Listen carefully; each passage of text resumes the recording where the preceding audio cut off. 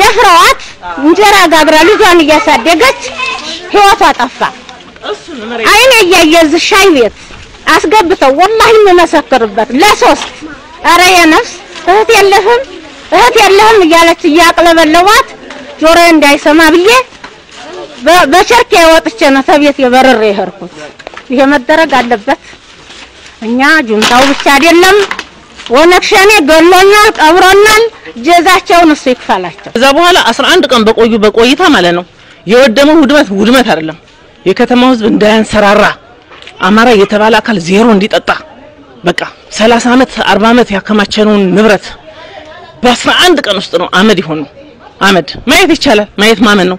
እያንዳንዱ ባለ ሱቅ እናቴ እዚህ ጋር የምታከራየው ልጆች ያላት የምታሳድጋቸው ልጆች ያላት የልጅ ልጅ ይዛለች። እናቴ የምትኖርበት ቤት ሱቆች እያከራየች ነው የምኖረው። አሁን ያለንበት አካባቢ ገበያው አካባቢ ነው እንዳለ ገበያ ውስጥ ያለው ንብረት በሙሉ ተጭኗል። በቃ ተጭኗል ማለት ትችላለህ። አንድ ነገር የለም። በዛ ላይ ደግሞ ማለት ነው የሰው ኪሳራ የሰው ህይወት በገንዘብ የማይተካ የእህቱንና የቤተሰቦቹን እቃ ሸሻለሁ ብሎ ሲሄድ ነው መናኸሪያ አካባቢ የተመታው አንድ ወንድማችን እዚሁ ሰፈራችን ማለት ነው። ይሄ ነገር ግልጽ የሆነ ነገር ነው። ግልጽ የሆነ ነገር ቀደም ሲል መንግስት ይሄን ነገር ያውቃል። በቃ ቢያንስ ከደሴ ከኮምቦልቻ ከወልዲያ አንስተው ሮቢ እስኪደርሱ ድረስ መንግስት አንድ የሆነ ነገር ማድረግ አይችልም ነበረ? ንብረታችንን ቢያንስ አያተርፍልንም ነበር? የሰው ህይወት አያስተካክልልንም ነበረ? ዜሮ ሁለት ቀበሌ ሸዋሮቢት ከተማ ነው የምኖረው። ተወልጄ የሚያደግኩት እዚሁ ላይ ነው። ቢያንስ እነሱ ገቡ የተባሉት ቅዳሜ ቀን ነው።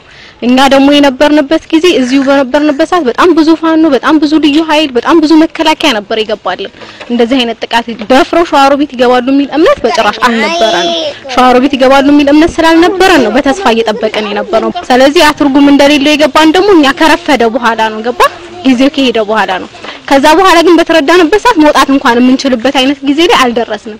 ምንም አይነት መውጫ መንገድ የለም። መውጣት ባሰብንበት ሰዓት ምንም አይነት ትራንስፖርት የለም። ምንም አይነት መንገድ የለም። የትም ቦታ መሄድ አንችልም። በዛ ሰዓት በቃ ያለን አማራጭ አንደኛና አንደኛ ቤት ውስጥ ሆኖ መቀመጥ ነው። ቤት ውስጥ በተቀመጥንበት ጊዜ መከላከያ ሲወጣ ወይም እንትኑ ሲገባ የተዋጋቸውም አካል ሆነ የተ- የተጋፈጣቸው አካል የለም። በቃ በስነ ስርዓት በነጻነት ነው የገቡት። በነጻነት ከገቡ በኋላ እኛ እነሱ አልመሰሉንም። እዚህ ጋር ኮንቲነር አለ፣ እዚህ ጋር ሱቅ አለ። ይሄ እኛ ኮንቲነር ነው የምንሰራበት የቤተሰቦቼ ነው እና እነሱ በዚህ በኮንቲነር ላይ እየተሰበረ ነበር ማታ ሁለት ሰዓት ላይ ማለት ነው። ልክ ሁለት ሰዓት ገብቶ አራት ሰዓት ላይ ቀጥታ እነሱ ስራ ነው የጀመሩት። ይሄ ማለት እንግዲህ ምንም አይነት የሚዋጋቸውም ሆነ የሚከላከላቸው አካል እንደሌለ ነው የሚያሳየው። እና መኝታ ቤት በጣም ጠባብ መኝታ ቤት ከም- ከምትባል በጣም ትንሽ የሆነች ክፍል ላይ ለአስር ሆነን ነው አያቴ ያለች፣ እናቴ ያለች፣ አባቴ፣ እህቴ፣ ወንድሞች አሉ። አስር ከአስር የምንበልጥ አንድ ጠባብ ክፍል ላይ ሆነን ነው ተኝተን ያሳለፍ ነው። የሚገርም ነገር በቃ ሟች ነን ብለን ሸሃዳ ይዘን የተቀመጥንበት አጋጣሚ ነው ያለው። በቃ ለመሞት ምንም ያልቀረም ማለት ነው። እንደዛ ሆነን ተቀምጠን ግቢ ውስጥ ገብተው በጣም ኃይለኛ ተኩሰው ምናምን በጣም የተሰቃየንበት ሁኔታ ነበር የነበረው። በሙሉ ወድሟል። ንብረቱ ምንም የተረፈ ነገር የለም። ህይወታችን ብቻ ነው የተረፈው።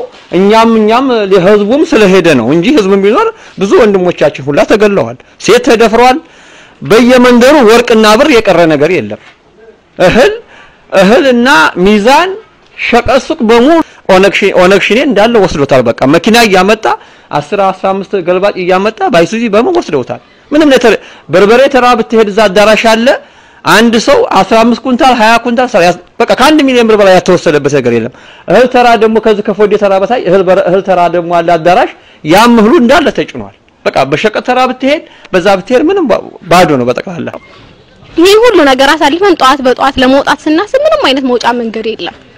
የት ብዙ ቦታ ሂደናል። በገጠር ለመሄድ በተራራ ለመውጣት አስበናል። ተራራው ላይ በጣም ሰልፍ ይዘው እያየናቸው ነው ሲጓዙ የነበሩት ማለት ነው። ወደዛም ማለፍ አንችልም፣ ወደ ደብረ ሲና መሄድ አንችልም፣ ወዴትም መሄድ አንችልም። ከበው ይዘውታል። ይሄ የሚያሳየው እንግዲህ ከስንት ጊዜ ጀምሮ የታቀደ እቅድ ስንት ጊዜ እንትን የተባለ ነገር ነው። ሲቀጥል ድሮን አለ ይባላል አይደል? በድሮን መምታት ይቻላል። መንግስት ያያቸዋል፣ እነሱን መምታት ይችላል የሚባልበት አጋጣሚ አለ። ቁጣጭ ሁኖ በቃ እያየናቸው እኔ በአይኔ እያየሁኝ በቃ ሰልፍ ይዘው ማለት ነው። በጣም ብዙ ኃይሎች እየሄዱ እያየሁኝ ምንም አይነት ጥቃት አላደረሰም። ግን ጥቃት እያደረሰ ያለው የኛ መንግስት የት ነው? ከተማ ላይ ነው። የመድኃኒት መግዣ የያዛትን ብር ከኪሱ አስር ሺህ ብር ላፍ አድርገውን የሄዱ አረመኔ ርህራሄ የሌላቸው ጁንታ ናቸው። ቁጭ በሉ ተሰልፋችሁ ኑ እያሉ ግን አልሐምዱሊላህ ሳይገሉ ነው። ንብረት ያወድሟል። በር የገነጠሉ ብዙ ነገር አጥፍተዋል እና ያለውን ንብረት በአጠቃላይ ወስደዋል።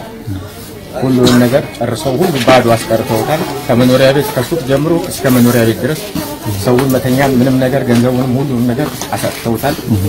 እና ያለው ነገር ምንድን ነው? ምንም አይነት ነገር የመቋቋሚያ ህብረተሰቡ ስለሌለው በአሁን ሰዓት ባዶ አስቀርተውታል።